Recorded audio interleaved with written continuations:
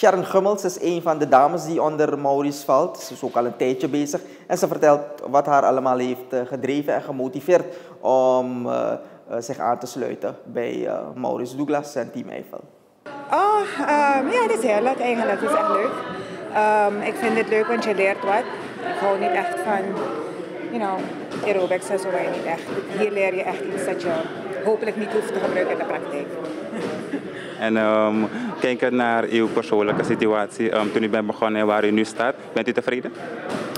Um, het kan altijd beter, of course. Maar ja, ik merk wel vooruitgang, dus ik ben wel tevreden. Ja. En ik ben zeker tevreden over mijn trainen.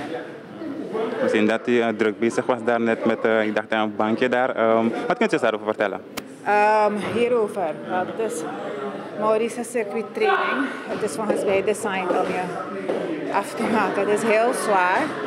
Um, dus morgen ga ik het zeker voelen, maar het is wel lekker.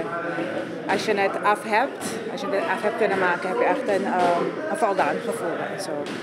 Dus, dus um, en het bestaat uit veel buikspieroefeningen.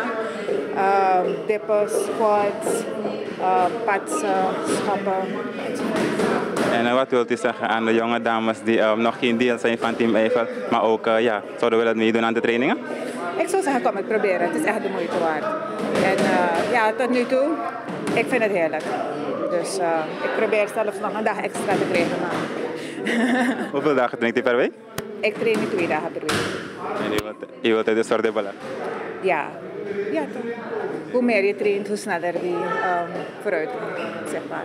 En uh, wat is uw persoonlijk doel met deze training? Wat wilt u bereiken?